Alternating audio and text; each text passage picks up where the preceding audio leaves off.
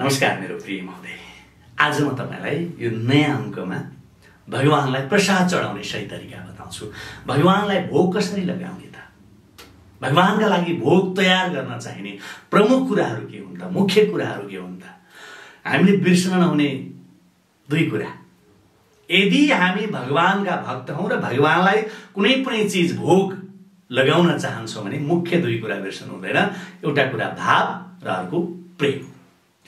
श्रीकृष्ण भागवत गीतामा भनेको छ पत्रम पुष्पम फलम त्वयम यो मे भक्त्या प्रेक्षति यदि कसैले प्रेमपूर्वक तथा भक्तिका साथ मलाई पात फुल फल या जल मात्रै अर्पण गर्दछ भने पनि मैले पनि उसलाई सप्रेम स्वीकार्दछु उसको प्रसाद त स्वीकार्छु स्वीकार्छु म उसलाई पनि स्वीकार्दछु तात्पर्य यही हो मेरो प्रिय हजुर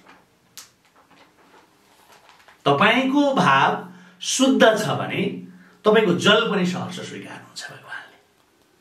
त्यसकारण बिहान उठेर स्नान आदिबाट निवृत्त भएर सफा वस्त्र धारण गरेर मात्र तपाईँ के गर्नु पर्यो? सफा सुग्घर भएर सफा वस्त्र धारण गरेर मात्र भान्सा कोठामा प्रवेश गर्नु पर्यो। त्यसपछि भगवान्लाई भोग लगाउन के के तयार सामान तयार गर्ने हो त हो त्यो तयार गर्नु पर्यो कि?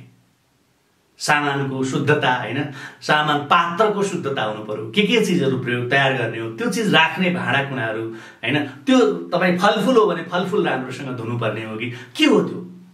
यदि तपाईँले आफ्नो जस्तो कुनै भोजन भगवान्लाई भोग लगाउने गर्नुभएको छ आफ्ना लागि तयार गर्ने भोजन पहिला तपाईँले सुरुमा भगवान्लाई चढाउने गर्नुभएको छ भने पनि त्यो खाना पूर्ण रूपले सात्विक हुनु पर्यो।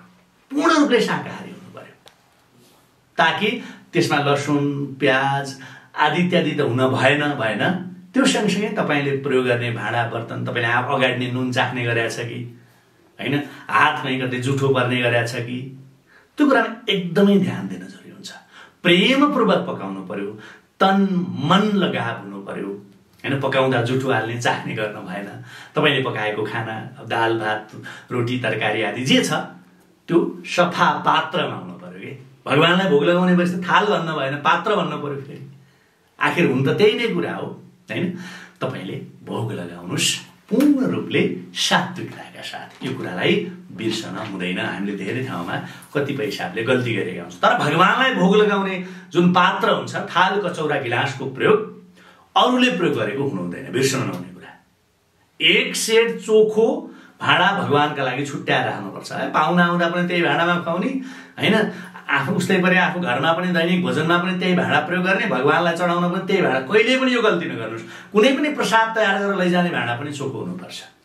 अब भोग कसरी लगाउने त? प्रसाद विशेष त कसरी चढाउने त भन्दा तपाईँले पकाएको कुनै पनि परिकार सम्पूर्ण परिकार भगवान्को जुन पात्र हुन्छ थाली हुन्छ त्यो थालीमा सबै चिजलाई थोरै थोरै थोरै थोरै गरेर राख्दै जानु पर्यो। होइन यो कुरा तपाईँलाई पनि थाहा होला। र एउटा सफा गिलासमा होइन पानी तयार गर्नुहोस्। जलको कलश भन्ने बुझ्नु पऱ्यो कलशमा तपाईँ जल तयार गर्नुहोस् र त्यो भोजनको जुन थाली छ त्यो जुन जल छ त्यो लिएर आफ्नो पूजा स्थानमा जानुहोस् र त्यो भोजनमा र पानीमा तुलसी पत्र राखिदिनुहोस् पहिला। र आचमनको जुन जल हातमा राखेर हात शुद्ध पारिसकेपछि भगवान्का अगाडि भोजन राखिदिनुहोस्। त्यसपछि बायाँ हातले घन्टी बजाउँदै हरे कृष्ण हरे कृष्ण कृष्ण कृष्ण हरे हरे हरे राम हरे राम राम राम हरे हरे। यो मन्त्र तपाईँले जप्न सक्नुहुन्छ होइन? अथवा तपाईँलाई यो मन्त्र बाहेक अरू कुनै मन्त्र जप्ने गर्नुभएको छ भने पनि त्यो मन्त्र जप्न सक्नुभयो। यो मन्त्र पढिसकेपछि जपिसकेपछि तपाईँ त्यहाँबाट निस्कनुहोस् उठ्नुहोस् होइन? मन्दिरको ढोका लगाइदिनुहोस् र दस मिनटपछि पुनः मन्दिरको ढोकामा गएर कि ताली बजाउनुहोस् कि ढोका नक गरेर मात्रै तपाईँले ढोका खोल्नुहोस्। र पुनः जलले हात शुद्ध पारेर तपाईँ बायाँ हातले घन्टी बजाउँदै हरे कृष्ण कृष्ण कृष्ण हरे कृष्ण कृष्ण कृष्ण हरे कृष्ण भन्दै तपाईँले जप गर्ने र भगवान्लाई भोग स्वीकार गर्नुभएकोमा सप्रेम धन्यवाद दिनुहोस् र भोजनको थाली उठाएर ल्याउने गर्नुहोस्। यसरी तपाईँले जुन आफ्नो भान्सामा तयार गरेको भोजन भगवान्लाई चढाउनुहुन्छ नि यो तपाईँले यसरी गर्ने हो त्यो थालीमा भएका सम्पूर्ण खाना होइन तपाईँले के गर्ने? जुन भगवान्लाई भोग चढाउनु भयो नि प्रसाद चढाउनु भयो नि त्यो चढाइसकेपछि लगाएको भोग भएको थाली लिएर आउनुभयो र के गर्नुहोस्? फेरि खाना अर्को तपाईँको भोजनको प्लेटमा खन्याउनुहोस् नि। त्यसमा प्रयोग नगर्नुहोस्। त्यसैबाट नखानुहोस् है। तरकारी तरकारीकै भाँडामा खनाउनुहोस् खाना भात भातकै भाँडामा खनाउनुहोस् अचार अचारकै भाँडा के के छ? पानी पानीकै फिल्टरमा खनाइदिनुहोस् यसरी पुनः तपाईँले त्यसलाई रिटर्न गर्नुहोस्। र तपाईँका लागि अब त्यो भोजन जुन भान्सामा तयार भएको भोजन हो त्यो प्रसादका रूपमा तयार भयो। तपाईँले दैनिक आफ्नो भान्सामा पाक्ने भोजन भगवान्लाई भोग लगाउने सही तरिका हो। मैले शुभारम्भमा शीर्षकमै यो कुरा भनेको भए तपाईँ अझ बुझ्नुहुन्थ्यो होला। जुन हामीले हाम्रो भान्सामा तयार गरेको भोजनलाई दैनिक भगवान्लाई कसरी चढाउन सकिन्छ त? यस विषयमा तपाईँलाई मैले आजको भिडियोमा यी कुराहरू बताएको हुँ। अब तपाईँ के गर्न सक्नुहुन्छ? परिवारका सबै सदस्य भगवान्को प्रसाद स्वरूप भोजन ग्रहण गर्न सक्नुहुन्छ। होइन? अब अर्को अगाडि नै भन्नुपर्ने कुरा तपाईँलाई म यहाँ अहिले याद भयो मलाई। भगवान्लाई भनेर भोग लगाएको जुन चिज हो प्रसाद हो भोग हो भगवान्को अगाडि लैजाँदा पनि तपाईँले के गर्नु पर्यो भने ढाकेरै लैजानु पर्यो र ढाकेरै ल्याउनु पर्यो घरका सदस्यलाई पनि नदेखाइकन लानुहोस् सकेसम्म। के लैजान्छ? लैजाँदै हुनुहुन्छ। छोपेर अरू कसैले नदेखोस् होइन? त्यो पवित्रताको कुरा पनि भयो शुद्धताको कुरा पनि भयो विश्वास र श्रद्धाको कुरा भयो। है? तपाईँले कुनै पात्रमा कुनै थालीमा होइन मैले अघि भने जस्तै गरी तयार गर्नुभयो तयार गरिसकेपछि कुनै एउटा शुद्ध थालीले छोपेर लैजानुहोस् र त्यो प्रसाद ल्याउँदा पनि तपाईँले छोपेरै ल्याउनुहोस् र आफ्नो परिकारमा मिसाउनुहोस्। यसरी गर्नुहोला। कैयौँ मान्छेहरूले भगवान्लाई भोग लगाएको कुरा खाँदैनन् कति मान्छे। ल्याए त्यहीँ होइन? यसो चढाए अरू खाना साना खाए चढाएको भोजन त्यहीँ सडिरहेको हुन्छ।